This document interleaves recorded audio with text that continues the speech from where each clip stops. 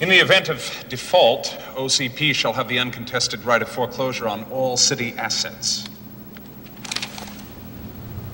You signed this.